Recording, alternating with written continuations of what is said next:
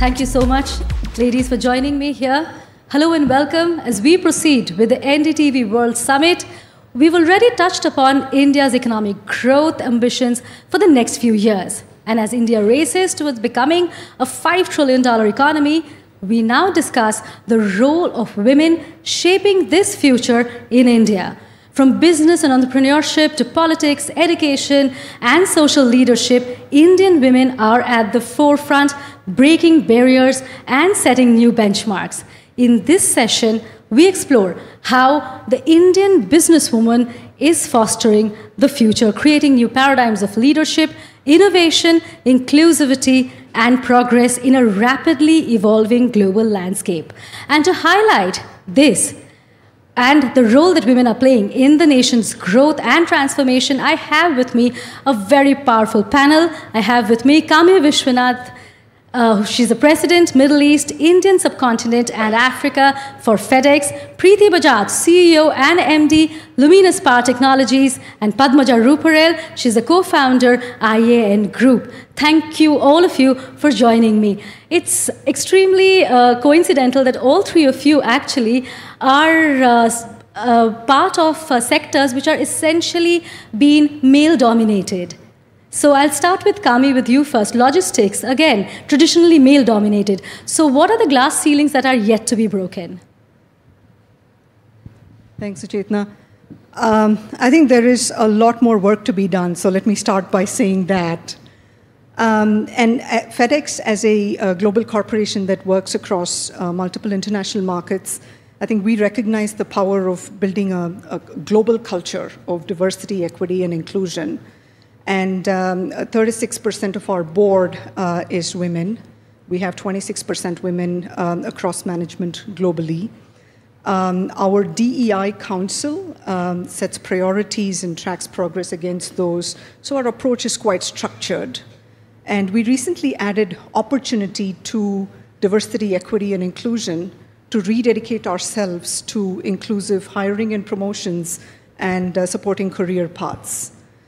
Um, I think the biggest work we have in front of us is how do we increase the representation of women in the logistics and supply chain sector? And I think that starts at the top of the funnel. Uh, with increasing the number of women candidates that apply for positions in this sector. And that includes uh, changing preconceptions and, and, biases. The other big area of focus, as we see it, is middle management mm-hmm. where we see typically a drop off in women's participation uh, due to added responsibilities and societal expectations around childcare, elder care, um, and, and so forth. Um, FedEx is a very people centric culture, and a lot of our efforts around DEI have been around how do we build a culture where DEI thrives. Mm-hmm. Um, so, inclusive leadership training, for example, where we work with managers on how do you manage diverse teams. Um, and we have senior leaders talking quarterly to our teams about how can you be intentional about inclusion. And we have a program called Walk in Someone Else's Shoes um, that, that helps build empathy uh, for people of uh, different diverse backgrounds and, um, uh, and, and, and so forth. Um, I, think um, there, there is a lot more to be done. It's an ongoing journey uh, for us. Um, and we're always striving uh, to do better, uh, particularly around um, how do we bring in more women into the, the sector, how do we ensure the right career pathways with the right supportive policies, and how do you increase the proportion of women in senior management, which is ultimately the, the I think, the biggest challenge.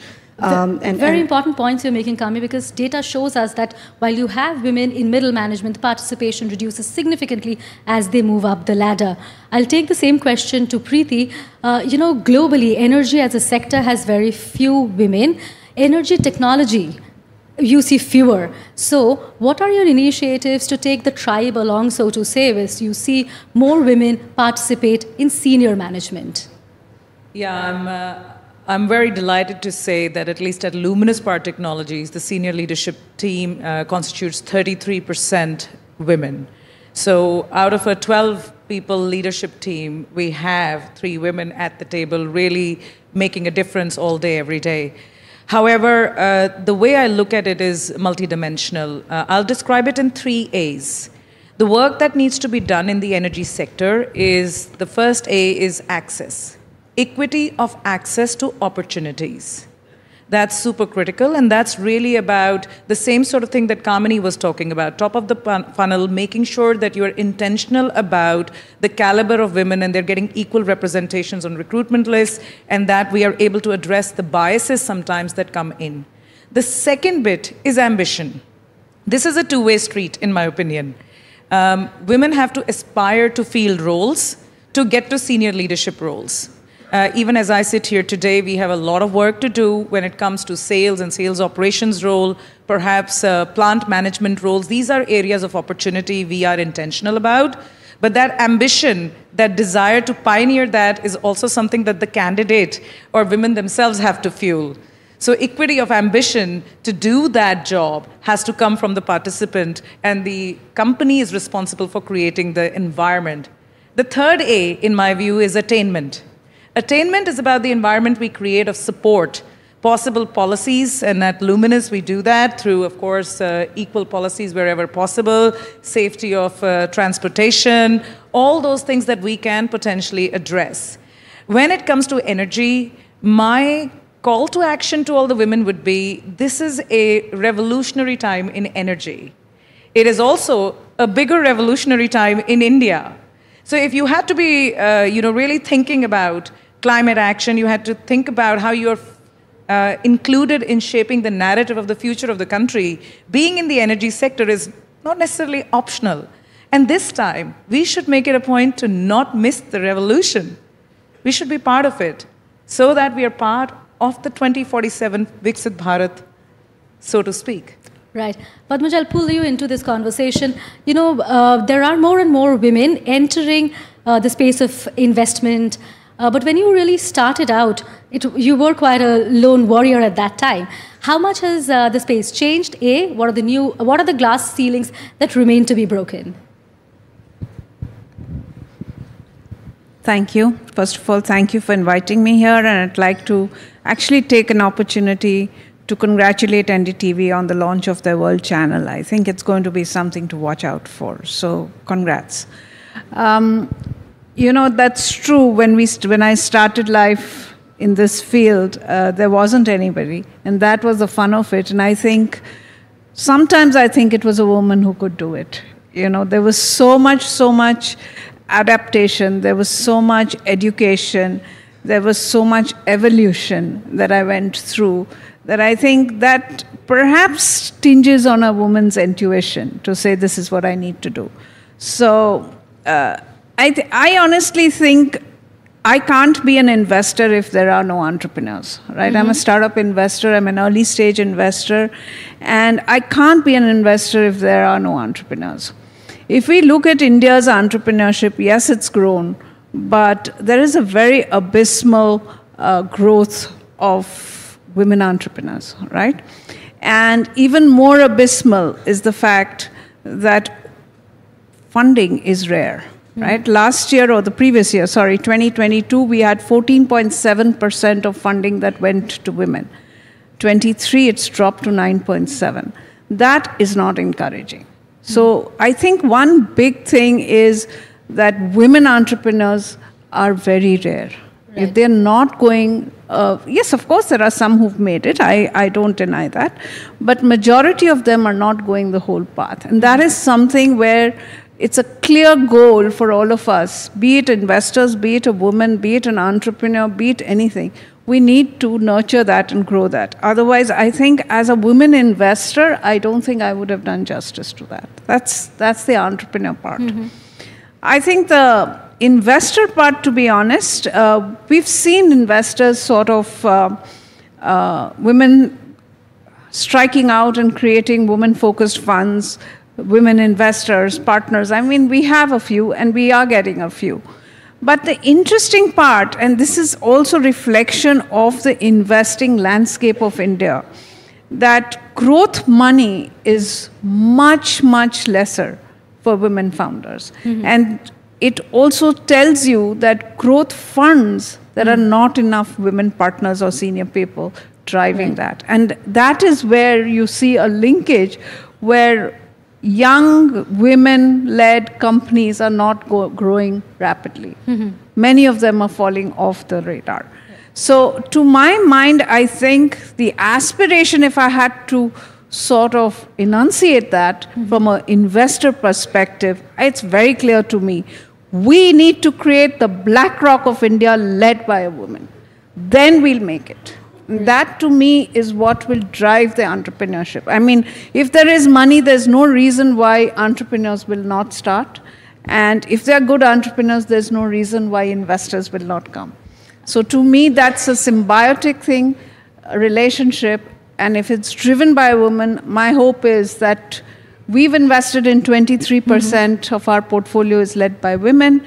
Uh, 90 board seats in our 230 companies are women. Mm-hmm. I think we can do much better if we right. had that thinking. We'll move to another symbiotic relationship. We'll talk about India's expanding growth ambition and uh, the role that you and your companies are playing in propelling that growth. I'll begin with Kami again.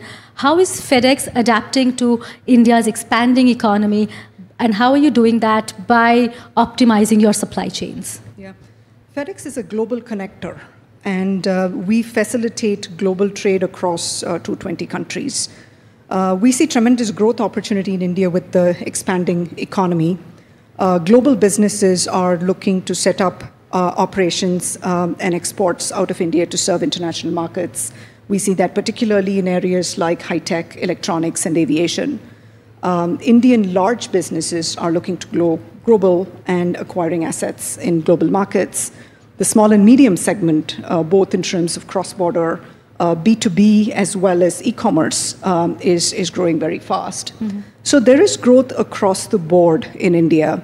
And we are investing in capacity from Asia to India and India westbound uh, to Europe and the US, and um, also making investments in our hubs and gateway infrastructure in Delhi, Mumbai, and Bangalore, as well as the, the Middle East.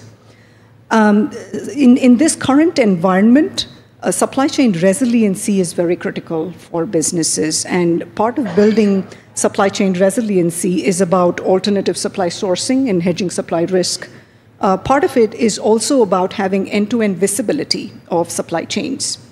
And uh, that is why we have taken an approach of integrated logistics, where we offer an end to end solution uh, to our customers across express, freight, air, and ocean, where um, our customers can work with us seamlessly uh, without friction that they would otherwise face with multiple service mm-hmm. providers, um, and also have the visibility um, end, end to end. And our one stop solution platform enables our customers to manage shipments, uh, book, uh, track, trace, and, and have uh, the, the, the visibility I spoke about um, we're also leveraging data and technology, which I'll, I'll talk about mm-hmm. um, in a minute. But I think our biggest focus is on how do we optimize supply chains and help manage uh, supply chain risks uh, for our customers. Uh, Preeti, I'll go to you next. Uh, the power, the energy sector globally is evolving at such a pace, and technology and sustainability seem to be pro- playing pivotal roles there. So, how is your business strategy at Luminous making sense of all of this for India? Yes, it is a very dynamic and evo- ever evolving landscape. Uh, so, as Luminous, uh, we think of it in, in uh, three, three ways. Number one is insight. We are a homegrown brand of India. We have been uh, around uh, the country serving uh, in excess of 100 million consumer homes. So when it comes to insight on usage of energy storage in the home, uh, we've learned a lot about what the Indian consumer expects when it comes to how he or she wishes to use this essential service backup and energy in the home. We bring that insight into what I would say innovation. So, very quickly, we were able to understand that, okay, the grid has different conditions what is relevant in UP is not relevant in Karnataka, and what is in Karnataka is not going to work in Kanyakumari, and whatever is working in Kanyakumari is not going to work in Jammu and Kashmir. Everywhere, the grid is different, the consumer expectation is different, and the energy storage requirement is different. And then it made us realize that when we think about solar solutions for Indian consumers, we have to think about it in the terms of off grid, something that can work without the grid ever being connected, hybrid, which means the grid is connected as well as can serve as a power backup unit with solar panels and battery packs, and finally, grid tied, which is essentially where you can produce your energy and sell it back to the grid as well. And what's interesting about all this is that these dimensions, the more we travel the world, we realized are so unique to India. Mm-hmm. They're so unique to India. Right. It's not the same thing anywhere else in the world. Uh, and the third piece, what I would say, is when we think about that, Indian consumer has always been at the nexus of, uh, I'm loving the three A's, so I'll start again affordability of energy, accessibility of energy, and availability of energy. Mm-hmm. So, whatever you create in terms of solutions, you've got to think about those three A's and feed it into that. So, to that effect, I'm very proud to say that you know we we build our own solar panels. Uh, right. We build every part of a solar power generating system. Mm-hmm. Part of it is making sure that there is availability, and part of it is making sure that there is affordability. Mm-hmm. And the last piece I'll say I've spoken about the insight, the innovation, and I've spoken about the industrial ecosystem, if you think about it. The last piece, the fourth piece, is the Indian talent. Right. India has a lot of talent. And when we think about, well, we want to make in India in our seven factories, and the eighth one is coming out of the ground, we think about how will we actually take this aspiring talent and expose it to technologies that make a difference. Right.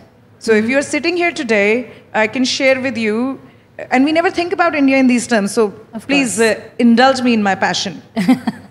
we have been using distributed energy storage, which means batteries in the home longer than any other country in the world. But for some reason, we never recognized that.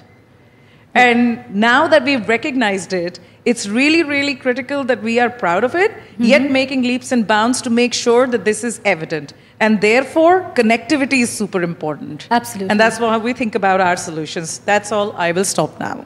Thanks, Preeti. Padmaja, you know, we see a lot of startup activity in uh, being driven by tier two and tier three cities of India.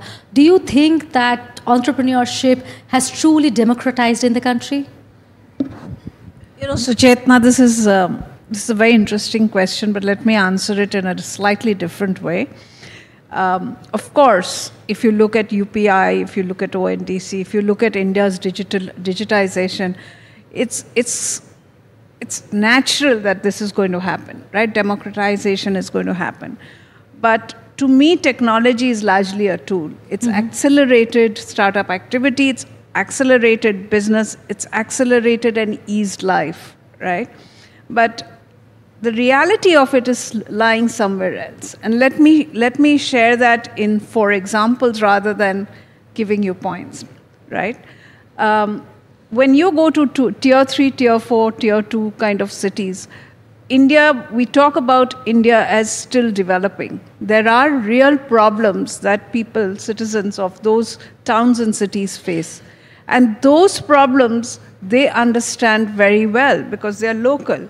And because they are local, they are also need a solution. So they start building a solution there and then. And that is not de- only democratization of startup activity, it is creating some very innovative technology enabled solutions for real problems being bred in India, operationalized India, and which can go global. Mm-hmm. Right? So let me give you four examples. There's a company called Phool, born in Kanpur, right?